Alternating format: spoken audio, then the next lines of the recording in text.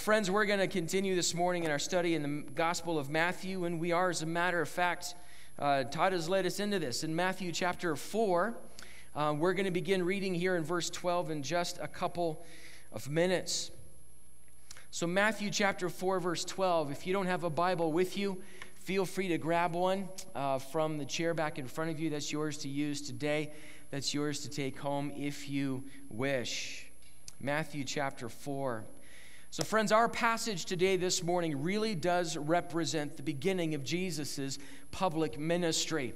He has gone through the baptism. He was led by the Spirit into the wilderness to be tempted by the devil. He walked through that process. He came out the other side, and now our passage marks the moment when Jesus begins to preach and teach in the countryside and go public, if you want to use that kind of language. And as we think about this passage of Scripture, I want us to keep these ideas in mind as we watch what happens with Jesus Christ and his disciples.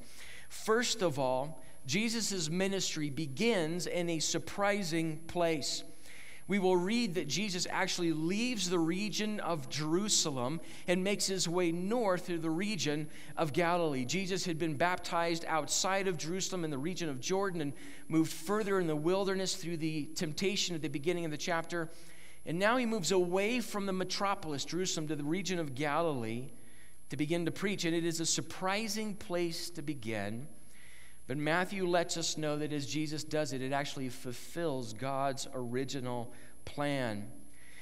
Secondly, the message of Jesus Christ is clear. In fact, it is as clear as the message of John the Baptist. When Jesus begins preaching, he begins with the same message that we heard when we were introduced to John the Baptist at the beginning of chapter 3 Repent, for the kingdom of heaven is at hand. Jesus preaches this, and now with the added detail, friends, that he is the one who is bringing this kingdom of God. So his message is clear.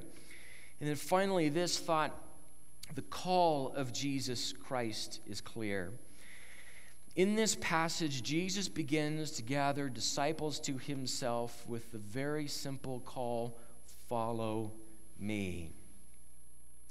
And it is this call this call that is initiated by Jesus Christ, that he speaks to his children, that makes discipleship possible. It is this call initiated by Jesus Christ that makes life in his kingdom possible. Friends, in this passage this morning, we're going to have to start wrestling with this notion of what it means to be a disciple, a follower of Jesus Christ. And we begin to hear a little bit about what that means, and I think be challenged by the reactions of the disciples to Jesus. So let's begin reading Matthew chapter 4, starting in verse 12. Now, when he heard that John had been arrested, he withdrew into Galilee. And leaving Nazareth, he went and lived in Capernaum by the sea in the territory of Zebulun and Naphtali, so that what was spoken by the prophet Isaiah might be fulfilled. And this really is a powerful passage. The land of Zebulun and the land of Naphtali, the way of the sea beyond the Jordan, Galilee of the Gentiles, to the people dwelling in darkness have seen a great light. And for those dwelling in the region of the shadow of death, on them a light has dawned. From that time, Jesus began to preach, saying, Repent, for the kingdom of heaven is at hand. As the passage opens, we are told that John the Baptist is thrown into prison. Now, John the Baptist is thrown into prison by one of the Herods. I believe it's Herod Antipas, Herod the Great, the Herod of the first couple of chapters of Matthew. He's now dead and gone, and one of his successors is on the throne. And John the Baptist now languishes in prison from this point until his death. And we will run into John the Baptist again, but it is absolutely clear and again, I am a fan of John the Baptist in so many ways. It is absolutely clear that John the Baptist's message has rubbed the leadership in Jerusalem in all the wrong ways. And sometimes that just happens when someone steps into the public square and begins to preach the things of Jesus Christ. Well, this is what has happened to John the Baptist, and sure enough, he finds himself in prison because of it. At about the same time, the text tells us that Jesus makes his way to Galilee. He begins to go north into the region of his boyhood home, the little village, the town of Nazareth. And you've, you can see it in the backs of your Bibles and the maps. We've got a little bit of information there behind you so you can kind of follow this just a little bit.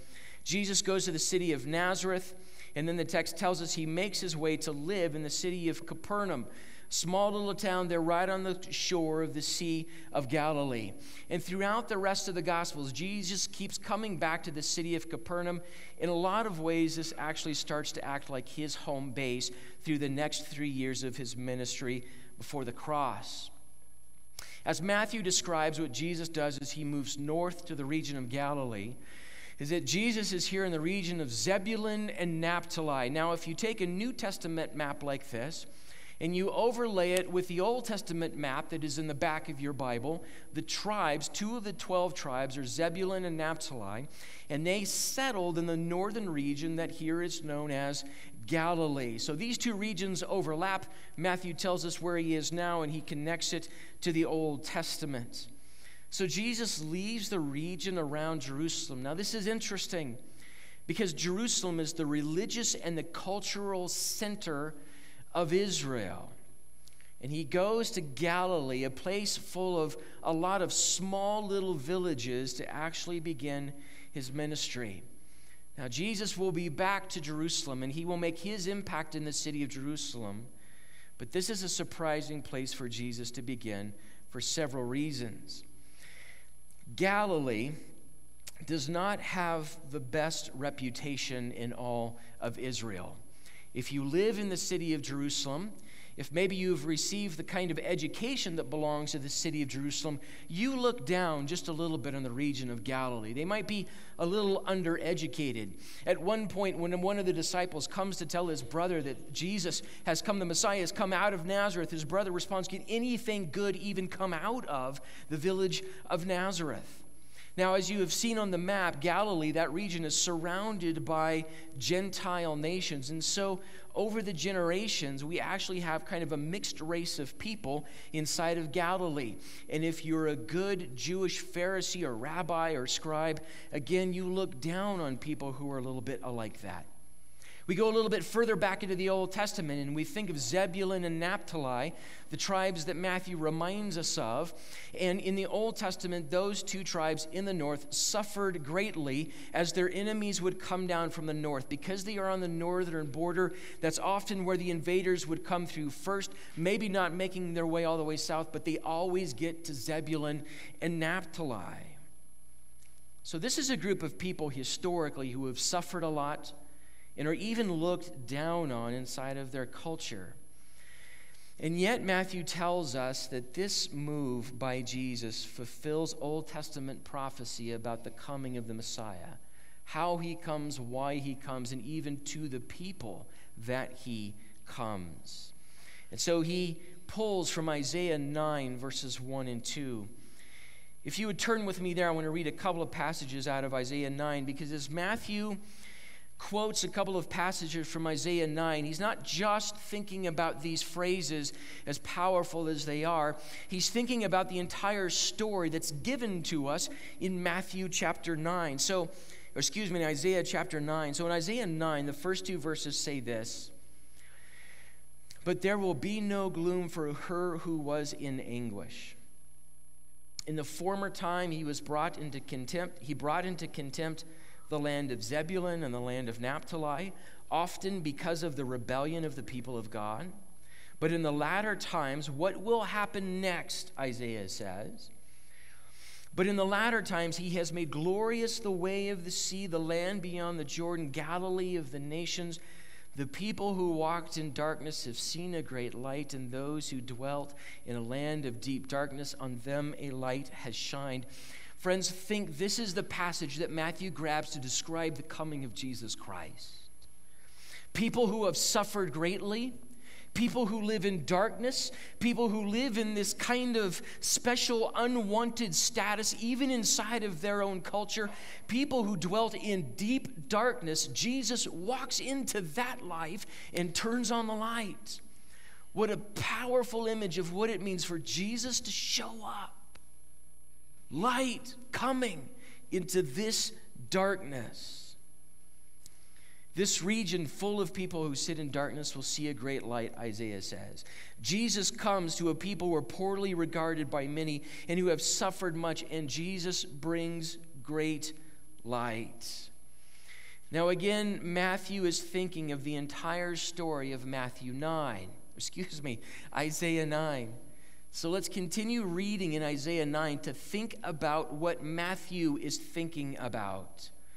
Isaiah 9, verse 3. Listen again to what it means for Jesus to come. You have multiplied the nation, you have increased its joy. They rejoice before you, as with joy at the harvest, as they are glad when they divide the spoil. For the yoke of his burden and the staff of his shoulder, the rod of his oppressor, you have broken as on the day of Midian. The the poetry, even in the English translation, is just, I think, so beautiful and powerful. For every boot of the trampling warrior in battle tumult and every garment rolled in blood will be burned as fuel for the fire. When Jesus comes, these things start to change. These things that are so common inside of the human condition begin to change because light has dawned on those who live in darkness. Well, this is glorious, but this is still not the end of the story. Isaiah continues. But to us a child is born, a son is given. And the government. Now, remember the message that Jesus preaches when he shows up. And Matthew says, This is what it reminds me of. Jesus is preaching what? Repent, for the government of God is at hand. The kingdom of heaven is at hand. And the government shall be upon his shoulder, and his name shall be called Wonderful Counselor, Mighty God, Everlasting Father, Prince of Peace. Of the increase of his government and of peace there shall be no end. Imagine that. that of the increase of the kingdom of God. And how does this work? I don't know how this works, but man, I look forward to watching this work. Of the increase of his peace you and I watch constantly the increase of tumult and of bloodshed and of pain. But when the kingdom of God has its way, peace will increase forever. Isn't that amazing? And on the throne of David and over his kingdom to establish it and to uphold it with justice and righteousness from this time forth and forevermore. The zeal, the desire of the Lord will perform it. God will do it. Isn't that beautiful?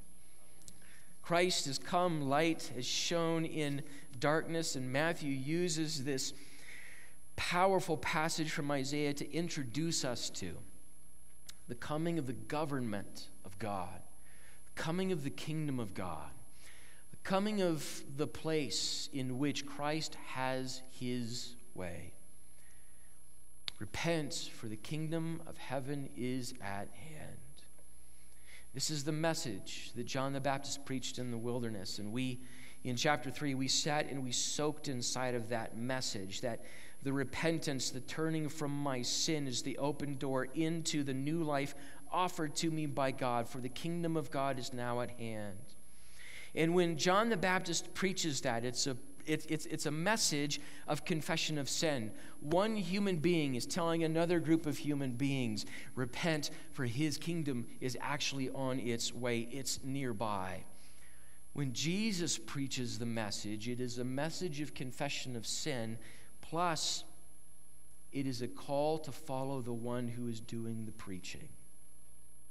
Guys, this is important. When John the Baptist preaches this message, he's pointing to Jesus Christ. When I preach that kind of message, I am pointing to Jesus Christ. God knows, please don't look at me. I am not pointing to me. When anybody preaches this message, they're pointing to Jesus Christ, except for Jesus Christ. When he comes preaching, repent for the kingdom of heaven is at hand, it's as if Jesus is saying, and here it is. And I'm going to start calling you to follow me. He is the coming of the kingdom. In Jesus, it is at hand. So, friends, Jesus does not point to another greater figure. Jesus is not a mere prophet. Jeremiah, when he speaks, he's, he points to another person. Isaiah, when he speaks, he's pointing to one who is greater than he is. That's not what Jesus does. He's not a mere prophet. When Jesus speaks, he does not just point to a moral code for us to follow. He's not a mere preacher like I am. He points to himself as the one who changes lives. This is part of the uniqueness of the Christian faith. And this is part of the uniqueness of the power of the Christian faith. As far as I have been able to tell, every other major religious figure in all of human history who has had a powerful impact on human history has done one of those two other things. They have either come pointing to someone greater than they are, or they have come pointing to a moral code that you should follow and not to themselves. But Jesus comes saying, I'm the one. He comes saying, I am God. Now that's interesting. Look at it like this. When you and I read in the, the our, our newspapers and our websites of someone who shows up somewhere in the middle of Florida and claims to be the second coming of Jesus Christ and has gathered a cult of followers around themselves, what do we think of them? The same thing that everybody but those five cult of followers think of them, right? And yet, Jesus came saying, I am God, very God in flesh. And it works because it's true. Friends, this is part of the uniqueness of our faith. This is part of the unique power of the Christian faith. And friends, this is important for us to understand because when we begin to remove the utter and absolute uniqueness of Jesus Christ from our churches, from our congregations, and from our lives, what we end up doing is we remove the only power that makes any kind of lasting difference. Another thing that this tells me is that I do not have the right to tinker with the word Christian.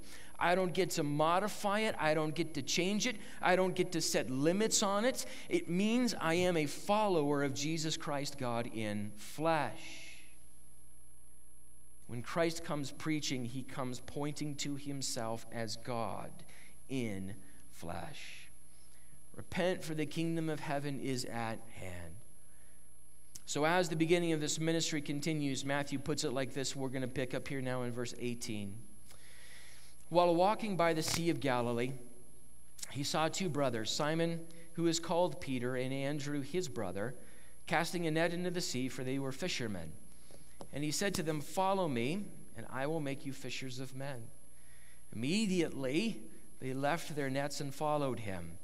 And going on from there, he saw two other brothers, James the son of Zebedee, and John his brother, in the boat with Zebedee their father, mending their nets, and he called them. Immediately they left the boat and their father and followed him. Follow me, for I will make you fishers of men. So now in this passage, Jesus begins to call people to himself. He begins gathering disciples for the next few years of his ministry and even further than that. These four guys in this passage, the four of them are fishermen, and they're all there in the Sea of Galilee. A little bit later on, Matthew even tells us a little bit about his call, and um, that's a beautiful thing. He goes by it pretty quickly, but it's a powerful, humble thing. And Matthew's a tax collector, but these four guys are fishermen. Now, in their culture, here's part of what that means okay, they're fishermen, but that also means that their fathers were fishermen. That also means that their grandfathers were fishermen. It also means that their great grandfathers were fishermen.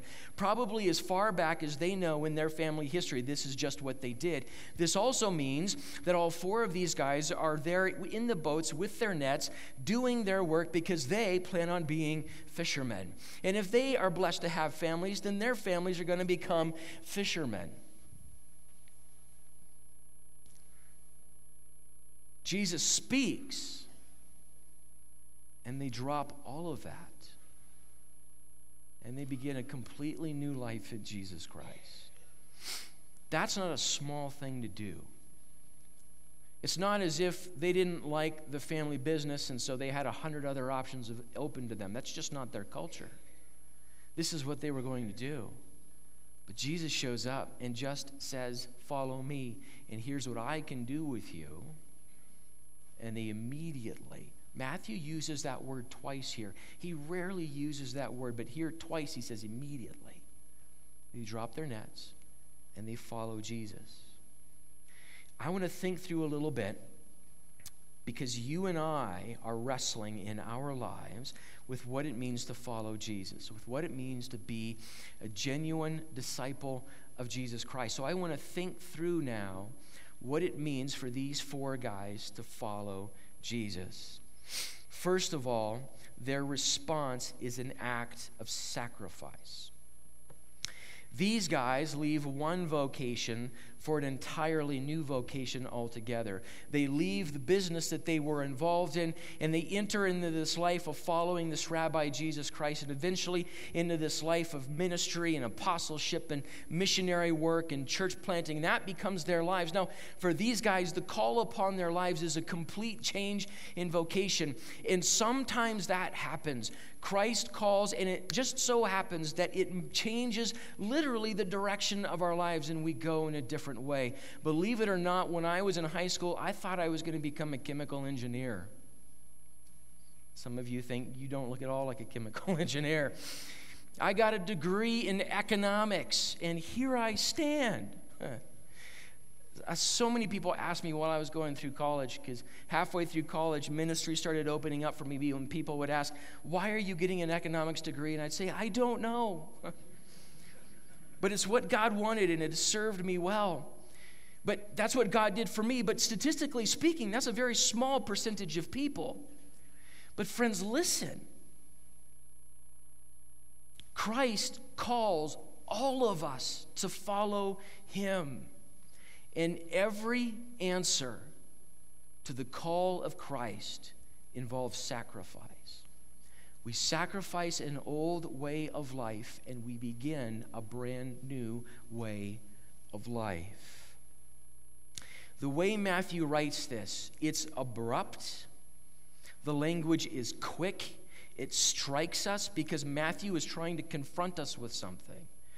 Their complete and ready response to Jesus should be a challenge to us in their response to Christ here, there are no reservations, there are no half commitments, and there is absolutely no hesitation. Now, these disciples walking with Christ, and even afterwards, they still stumble and fall. There's nothing supernatural about them. But at this moment, Matthew wants us to hear this.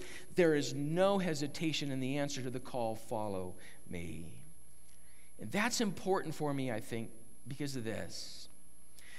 One of our temptations when we follow Jesus Christ is to put one foot in with Jesus Christ and keep the other foot out. To believe that what the world offers me is pretty good all by itself, and that Jesus is some kind of added on luxury that I get to use and draw on when everything else becomes a little bit too much for me. He's a little bit like a data plan. when I get to a certain point, I've used all I can, but He gives me even more. And friends, that's not sacrifice, that's selfishness. And let me tell you, when we treat Christ that way, as a luxury add on to my life that I activate every now and then, that I engage in every now and then, means that I am missing out completely on the life that Jesus Christ offers me. By way of illustration, let me talk just a little bit about something a friend of mine is going through. And what I mean by that is me. Okay. So I've got this friend. Christ has been challenging me for a while now about what it means to trust Him. Scripture likes to use phrases like this In everything, trust the Lord. At all times, trust the Lord your God. And what I have discovered upon reflection is that I walk along through life under my own steam and strength and ability, and I will hit these moments where it is just way too much for Phil to handle. And then suddenly I'm starting to struggle with what it means to trust God. And you see, when I have done that, I have discovered that what I am doing is I have kept one foot in my abilities, and now I've reached this point where the pool's a little bit too deep for Phil, and I'm trying to put one foot in trust in God, and it's not the case That all of a sudden I'm getting 50% benefit from trusting in God and 50% benefit trusting in me. Friends, let me tell you from experience, I'm getting zero from Christ when I treat it that way. I'm learning to hit those walls and walk backwards and trust God with the first breath I breathe in the morning. Then, then we begin to actually walk in the life that Christ has given us. No reservation, no hesitation. Immediately, I drop all of that and I begin to follow Jesus Christ. I hope things go well for my friend. Their response is an act of sacrifice that challenges us. Their response is immediate. By this point, whatever it means for them to come to this point, we don't know. Matthew doesn't tell us because it doesn't matter. What matters is when they reach this point and Christ sees them, looks at them in the eye, and says, Follow me immediately. They drop it all and they begin to follow Jesus, and the course of their lives begin to change. Again, friends, you and I are tempted to very slowly allow Christ in, to slowly let Christ's life become one of ours, maybe when we deem it necessary, maybe when we feel like that's what's actually going to begin working for us. But again, the disciples challenge me. Their response is immediate. It is whole, it is complete, it is, in this sense, instantaneous. And then, friends, their response to Jesus is the obedience that is demanded by the call. I don't know at this point what the disciples believe about Jesus Christ. I don't know how much they know about who Jesus fully and truly is. As the disciples walk through Christ, walk with Christ through the rest of the Gospels, these guys are learning and learning and learning what Jesus is. They're confused by who Jesus is. They don't even believe he's going to be killed. Then they don't even believe that he's risen from the dead. They just they're they're they're growing in this belief. But friends, this moment is not a moment of now I have believed everything about you. Now I'm going to start to follow you. It's a moment of obedience. And it's a moment of obedience that's demanded by the call of God upon their lives. Their beliefs and their lives will follow, but it follows behind the engine of obedience to Jesus Christ. So, notice again, we touched on this quickly, but guys, I think this is important. It is Jesus Christ who initiates the life of discipleship. Jesus calls you into his life. It is not the case that I somehow rise to some kind of level that makes it appropriate for God to go ahead and bring me into his kingdom. Christ goes to these guys. Christ came to this person. Christ walks into these lives of these men and women and calls you to himself. Discipleship is made possible by his call and his initiation. Dietrich Bonhoeffer, in his magnificent book, The Cost of Discipleship, put it like this Discipleship is not an offer man makes to Christ. I don't give him my discipleship. But he goes on to say this it is only the call that creates the situation. What makes this life in the kingdom possible is that Christ is the one who called me. And notice as well, and this is put physically in the story, as we sort of watch this story unfold, this physically happens. And what the disciples get to do literally, you and I are learning to do in our lives. Their act of obedience puts them in the footsteps of Jesus Christ. They stop walking down the path of this life and they literally begin walking down the path of this other life behind Jesus. So Jesus becomes the model for their lives and he becomes the power for their lives as well. Bonhoeffer, again in The Cost of Discipleship, says this Christianity without the living Christ is inevitably Christianity without discipleship. And Christianity without discipleship is always Christianity without Christ. To be a Christian, remember I said I don't have the right to tinker with the word Christian. Because to call myself a Christian, to carry that label with me, to put that bumper sticker on my car, means that I am a follower of Jesus Christ. It's just what it means. And then finally, this happens with them. Their response, this response of obedience, leads them into the only life that can actually transform the human condition. Let's begin to read in verse 23 to the end of the chapter. And when and he went throughout all Galilee, teaching in their synagogues and proclaiming the gospel of the kingdom and healing every disease and every affliction among the people. So his fame spread throughout all Syria, and they brought him all the sick those afflicted with various diseases and pains, those oppressed by demons, epileptics, paralytics, and he healed them. And great crowds followed him from Galilee and the Decapolis, and from Jerusalem and Judea, and from beyond the Jordan. And that sets up the Sermon on the Mount as a matter of fact. Their response leads them now to follow a man who does this. Matthew tells us that Jesus goes through all of the cities, the villages of Galilee, preaching the gospel of the kingdom. We know historically that there's at least 200 villages just in the region of Galilee. So this is a lot of legwork that Christ is doing, and his disciples are watching a lot happen as Christ goes and as he teaches and as he heals the sick. And notice how Matthew describes it it is the bringing of the gospel of the kingdom the good news of what Christ can do in his rule and reign. This is what Christ is unfolding for his people here in this passage. This gospel of the kingdom, it comes with teaching and it comes with healing, both of them with supernatural power. We see this often in the life of Jesus Christ. He teaches.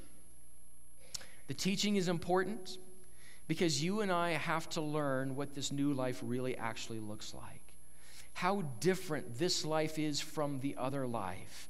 What it means to follow Him instead of anything or anybody else. We have to learn what that actually means. And then it comes with all of this healing. The only thing that can fix and change and transform and heal the human condition, friends, is Jesus Christ. That's it. And the disciples are learning that in this powerful way. And may you and I learn that as we follow Jesus Christ, right? So, friends, this morning, as we hear Christ do this, as we hear Christ go through this, consider this your invitation to follow Jesus, to enter into his kingdom. I'm going to encourage you, brand new Christian, Christian for a very long time, ask Christ in sincere and repeated prayer to lead you to become the one who walks before you, who guides you, who opens your heart to yourself, who transforms you. And in humility, ask Him to do exactly that to change you into the image of His Son, Jesus Christ.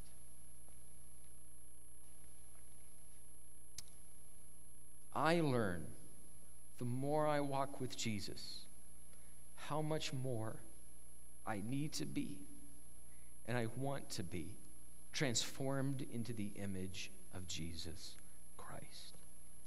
I don't need any more of Phil. I need a lot more of Jesus Christ. And then, friends, just ask Him, put it in these simple terms. Just ask Him for the kind of power that's required to live like Jesus Christ. And this is where things begin to change. This is where things begin to change for you. And this is where things really actually begin to change for those around you in life with Jesus Christ. Let's pray. Heavenly Father, we are grateful again for this time this morning. We are grateful, Father, for all that we have heard, we have sung. We're grateful for this fellowship with the body of Christ. And we are thankful this morning for the words of Christ. We're thankful this morning for the call of Christ. These lives that would be lost in our own darkness, we sit in darkness, in deep darkness. We are not our own light. I cannot turn on the light that is needed to change this life. So Christ comes. God in flesh enters this life, this world, so that we may now see the light of God. So that we may now hear the call of God to follow Jesus and to enter into his kingdom. Impress upon every one of us how the kingdoms of this world, the kingdoms of my own concoction, have left me wanting at every turn. Reveal to our souls, our hearts, our minds, how the kingdom of God is light and life. How it is the teaching of truth, how it is the power to heal and to transform. In the name of Jesus Christ, reveal that to your children this morning. We pray all these things in the magnificent name of our loving Savior, Jesus Christ. Hallelujah. Friends, I'm going to ask you to stand with us this morning. Before we go, I want us to sing a little bit of this song and in prayer and worship, continue to listen to what the Spirit has to say to His church this morning.